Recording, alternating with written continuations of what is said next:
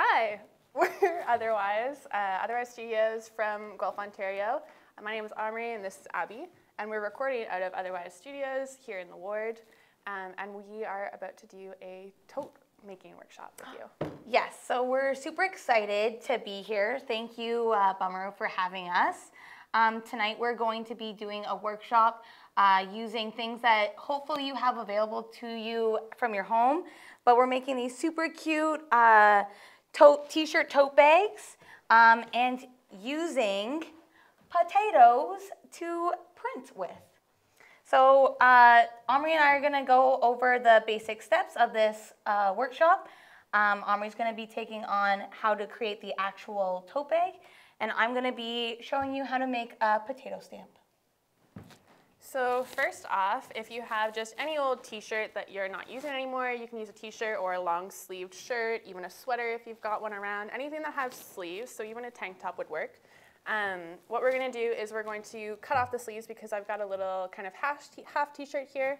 Um, so we'll start by just cutting off the sleeves um, so that you have, you're making yourself kind of a tank top. And this is going to be your um, handles for the tote bag. And this is really great because if you work at any kind of a camp or a, um, a store that gives you t-shirts every mm -hmm, month mm -hmm. and mm-hmm. you're not so keen on the fashion waste, um, then you can reuse those tote bags and bring it to the market, you can bring it to the store, um, and then you don't have to buy reusable bags either. And I wanted to show a little bit of a demo of how they kind of fit and work. So here are my books. And there is my tote bag. So you can now rock it all over Guelph. And so I'm gonna just kind of show off now how to prep your potato. So um, you're just gonna wanna get any regular potato. Um, you can also use things like linoleum, uh, wood block, um, if you're looking to do kind of more an advanced uh, print uh, for this craft, but we thought we were gonna just use something very simple and super fun. And so the first thing you're gonna wanna do is you're gonna cut it open and you're gonna wanna try to remove as much moisture as possible from your surface. Um, this is going to allow you to uh, put more ink on, gonna allow you to maybe draw an image on there if you need um, a little bit of a stencil. Um, I'm gonna do a fairly simple design because I'm going to pattern it onto the t-shirt. Um, so I'm going to just draw a quick image of what I'm going to be cutting out. Doesn't need to be very technical, can be fun. And while she does the drawing on the potato, I'm just gonna show you quickly. Um, so I cut off the sleeves. And I also cut the neckline a little bit because I had a higher scoop. Um, so I just cut that so that it's easier access. Um, if you're picturing a tote bag and you want to reach in, it's just like a bigger hole at the top. Um, and what I'll do is uh, at the bottom, you're going to want to, what we're going to do is cut um, tassels so that you can tie. This is a no-sew tote bag. So you can tie together the bottom to make uh, it not have a hole in the bottom. Yeah, so no need to have a sewing machine for this craft. Um, so again, you'll only need a potato, a t-shirt, and then maybe some carving tools and scissors. So right now what I'm doing is I'm uh, carving a solid, maybe uh, like two centimeters away from the surface of your uh, potato. This is going to be the depth of your relief print. Um, Unlike linoleum, uh, with potato stamps, you're gonna wanna get a little bit more depth to your print uh, just to prevent any um, globbing of your paint when you go to print. Um, but don't worry too much. Uh, it's very forgiving and if you mess up, uh, you can always remove more. Um, so I am literally just cutting this potato out and if you've ever carved a pumpkin, it's very, very, very similar to that. Um, and if you have carved a pumpkin, you know uh, about the safety of handling sharp utensils. Um, they are tools, um, so just be mindful of where your hands are in uh, relation to where the knife is going. And so since we are doing a relief print, uh, which means it's something that you're carving and then going to be physically stamping and it's just the surface um, of the uh, top that is going to be printed, uh, you're going to want to think about uh, your image in terms of uh, it being flipped. So if you are spelling something, if it's a symbol, um, if it matters, if it goes backwards, kind of think about kind of flipping that image. Otherwise, if it's just like a, a heart or um, a butterfly or cool uh, lines, it's totally fine to not even consider that in your process. And a really good tool to use too, um, just as we're both kind of carving and mm-hmm. cutting away, um, a good tool if you're using text is to just straight up Google um, a text reverse generator. And um, you want the reverse, the a mirror generator instead of just backwards, because if you Google, um, if you Google making text backwards, it'll just show you a word backwards. So if I'm spelling um, my name, A-H-M-R-I, it'll show me I-R-M-H-A. But if I want to make it mirrored, um, then it'll show me the actual letter flipped as if it was in a mirror, which will then make your text appear in the right direction when you print it. Yeah. So I've just removed the first layer of the potato skin. Um, and you can already see that it looks more like a, a stamp. Um, so essentially we are just making stamps out of potatoes. Mm -hmm.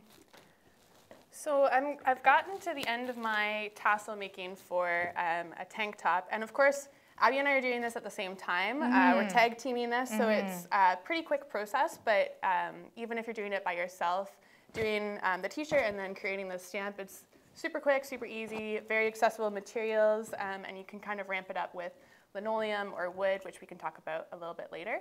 Um, but what I've done with the tassels is I have cut these, um, I guess like inch long strips at the bottom of my shirt.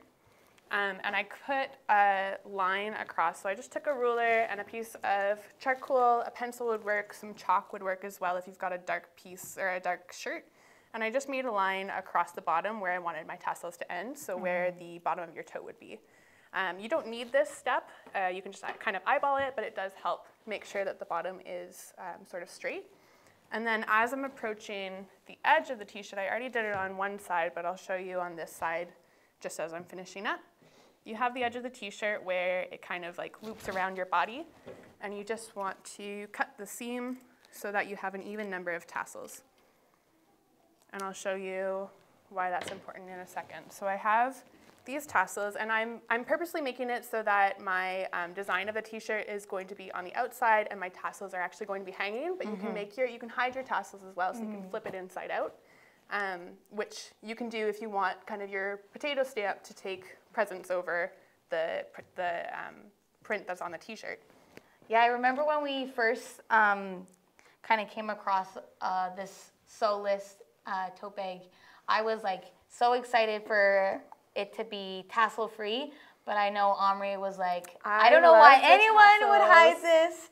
The tassels are where it's at, so you can definitely you embrace it. Yeah. Yeah, and you can make the tassels longer too. I've made them a little bit shorter just because I wanted a bigger bag. Um, but if you were to bring the cuts all the way up to say like the middle of the t-shirt, you would have these nice kind of long um, dangly tassels, which would add to the piece. And you can even like if you have, if you are a sewer already and you have um, scrap pieces of material hanging around, you can add them to this bag as well and just kind of tie them in so that you have multicolored tassels. Um, yes, I really love the tassels. So. You do, I know that. But we'll show yeah. you, we'll show you both sides of it. So what I'm doing is I'm just taking, um, you can see that I've cut the, the kind of inch apart. It doesn't really matter how thick your um, tassels are. It just depends on like if you want them to show, then you can kind of consider what you want them to look like. If you don't want them to show, it's probably better to make them smaller so that they're not as chunky on the inside when you flip it. Um, but basically you're tying the front of the t-shirt and the back of the t-shirt together. And I'm just doing a simple knot. Uh, so anyone can do this, kids, adults, seniors, angsty teens, anyone. Um, it's a nice kind of TV activity, uh, and I'm just giving it a double knot. So yeah, we're gonna go all making maybe soaking up the last little bit of sunshine that we have these days, sitting Yeah. outside. It's a great mindless kind of hand activity to do. Yeah. And especially fun if you don't know how to sew. It's a good intro on like working with textiles, but not necessarily knowing how to use a sewing needle. So I'm just gonna go all the way across the bottom of the tank top and we can kind of see the progress there. And I'm gonna go all the way across. And so as Ahmri's doing that, you can um, maybe see that I'm kind of carving away um, some negative space to um, make my print. So when you're making a, any relief print, um, you want to consider the positive and negative space. The positive space is the space that you're going to have ink or paint on. Um, and the negative space is everything that you're carving away. Um, and that is essentially going to be the color of your surface that you're printing on. In this case, that's our fabric. Um, so for this, um, I'm doing a very simple um, line work, I would say, um, and I plan on printing it in repeat to make somewhat of a pattern. Um, so it doesn't need to be super fancy. And how I'm doing that is um, sometimes I'm going in at a 90 degree angle with my knife. And then to carve those sections out, I'm going in at a 45 um, just to remove those things. Um, and you want to be kind of delicate because uh, since you are carving away uh, these little pieces, um, if by accident anything slips, um, there's a chance that you might move, uh, not move, but lose one of those little uh, stamp elevated pieces. Um, it's not the end of the world. It's a potato. Um, you can, if it was, if it was like something that was essential to your print, you can always just grab another potato. Um, but if it's not, then I have a philosophy that uh, we turn our mistakes into masterpieces. So uh, if it's not mandatory for your piece, don't fret and move on. Uh, sometimes the best mistakes kind of make up a whole piece. It's actually really fun trying to work with mistakes, and it's sort of inevitable too. If you're if you're carving for the first time, you're you're bound to make a mistake that maybe it didn't turn out the way that you wanted to, or you slipped, like Abby was saying, and you cut off a piece that you didn't want. Um, but it's a great mindset to have to just instead of getting upset about it, to work with it and see uh, what you can create with it from there. Totally. And so if you have a compost nearby, uh, since it is potato, it's organic material, so you can just be putting that um, in the compost. I'm just putting it aside for now. Um, and my stamp is complete. What I'm going to want to do, since it's all fresh uh, and moist, um, I'm actually going to take uh, one, just a piece of fabric, and this one is just a sleeve from the last uh, t-shirt that I cut, and you're just going to dab it, make sure that it's not too moist. And look what just happened. I have a little wiggly piece. It hasn't completely fallen off, um, but it's hanging on there, so I might lose it midway when we're printing. But for now, it's fine. Yeah, and I'll just show you quickly too. This is sort of um, what a tassel bag would look like, and you can use the sleeves as the handles um, and put your items in there. Or if you wanted to flip it, um, which is what we did for that example tote, you would just quite simply flip the t-shirt inside out, and you can cut that tag off as well. Um, and then you have a t-shirt without the tassels. Um, so what's happening there with my the curve uh, is most likely because this T-shirt was uh, it had like a scoop bottom. It was styled. It was styled, It was yes, styled, yeah. yeah. so that's uh, just a matter. It probably had something to do with maybe I didn't cut it straight, um, but uh, the style of the T-shirt that you grab as well will have an effect on how you cut the tassels. and how cool your tote bag will look. Yeah, yeah. yeah. Um, if you don't want the seams too, you can do kind of this in reverse. You can flip your T-shirt inside out and do the tassels that yeah, way. Yeah, so I would be I would be cutting it and tying it this way, so the tassels are on uh, like an inside out t-shirt, and then I would flip it the opposite way so there's no seams. Yeah. All right, so friends, uh, I think we've come to the, the point in the workshop where we actually get to start printmaking. Um, so for those of you who have print made, printed before, um, there's lots of different ways and materials you can use. Um, you could use ink, uh, which is like the proper uh, material that you would typically use for something like a linoleum. Um, for this, since it's not super technical, you can use um, just everyday acrylic paint, um, things you might want to invest in something that will be a little bit more permanent on your fabric if you do decide to eventually wash uh, these tote bags. Mm-hmm. Um, for this, we're actually just going to be using some house paint because we have tons lying around the studio. Um, and I know myself, I have lots at home from home projects, so you might have some as well. Mm-hmm. And if you don't, um, acrylic paint is super easy to get uh, anywhere. You can mm-hmm. get house paint from uh, any kind of hardware store, but you can also get just uh, plain old acrylic bottles, um, which come in these. Sorry for my reach. Nope, they come in okay. these little bottles at the dollar store. Um, so you can get them in a, in a, few different colors. So it's um, a pretty inexpensive investment if you are interested in doing this.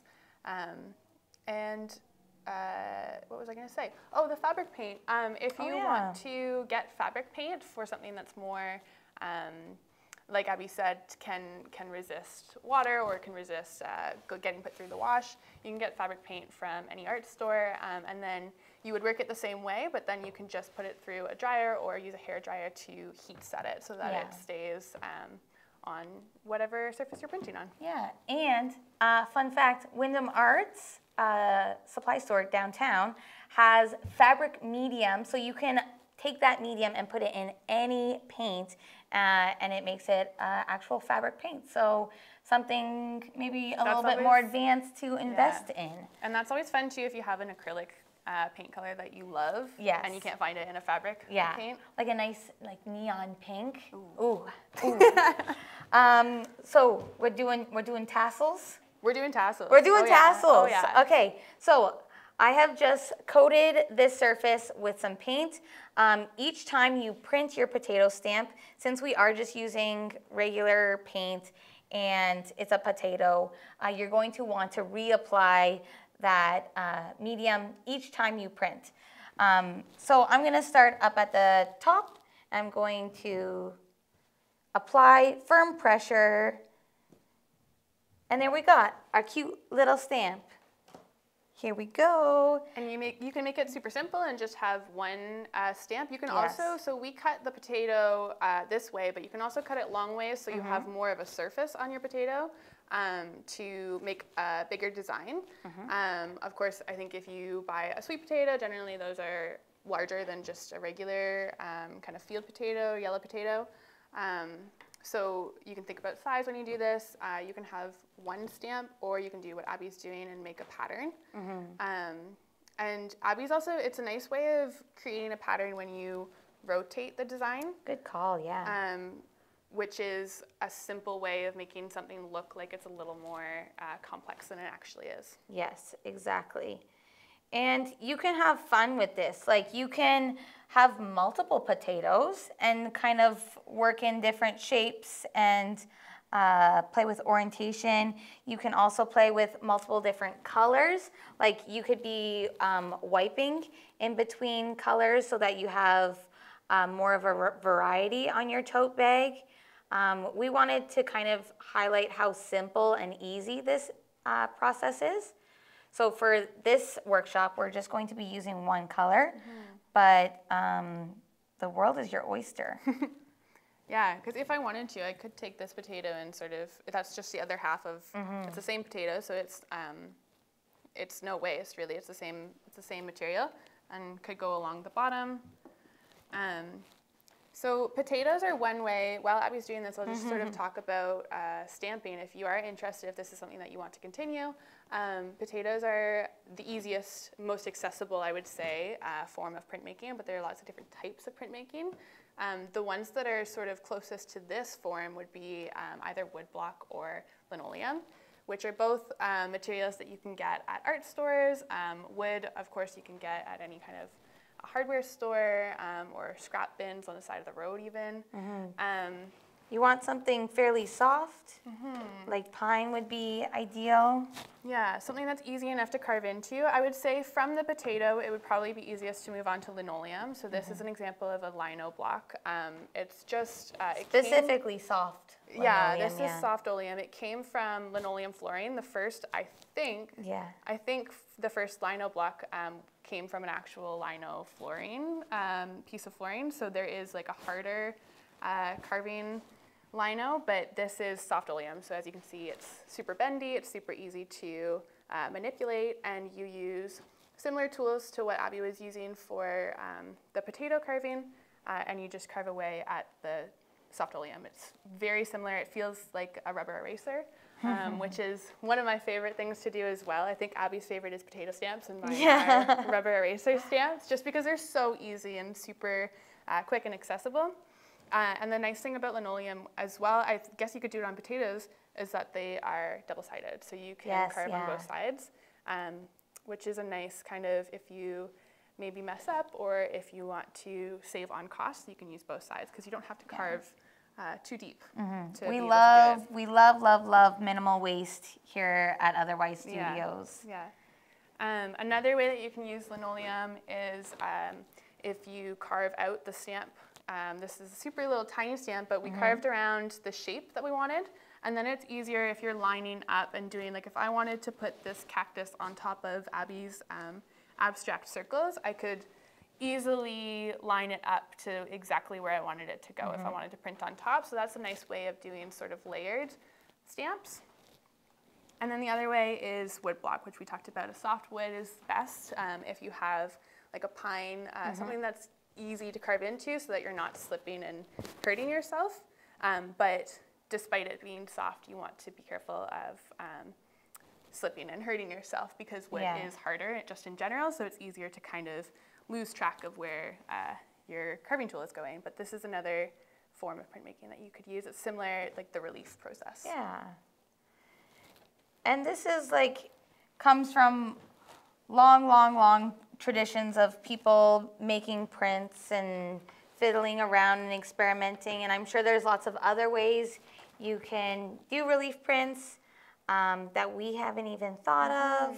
So get creative. Check out what you have available in your house. Um, Pretty much anything you can carve into or make an indent will make a print. Uh, so styrofoam, um, like anything that you can make. We've made prints from tinfoil before, even when Yeah. you can you can make a slight indent in tinfoil.